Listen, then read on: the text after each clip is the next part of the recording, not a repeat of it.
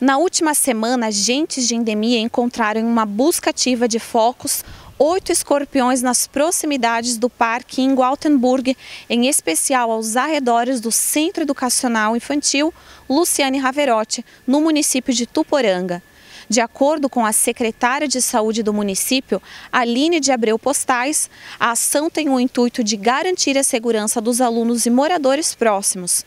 Os escorpiões encontrados foram capturados e enviados para análise. Brenda para a Rede Web TV, a sua TV online.